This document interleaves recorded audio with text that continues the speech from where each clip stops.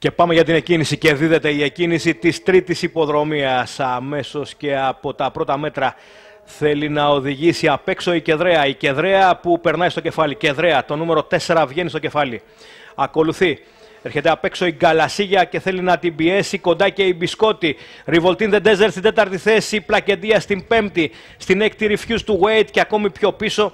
Στην τελευταία είναι η Lost in the Forest. Περάσαμε τα 800 με την ε, Κεδρέα να οδηγεί την υποδρομία και την Καλασίγια να είναι στη δεύτερη θέση. Λίγο πιο πίσω η Μπισκότη είναι στην τρίτη θέση. Revoltin the Desert στην τέταρτη μπροστά από την Πλακεντία. Περάσαμε και τα 600 και πάμε για την ευθεία. Κεντρέα, Κεδρέα και Γκαλασίγια. Κεδρέα και Γκαλασίγια.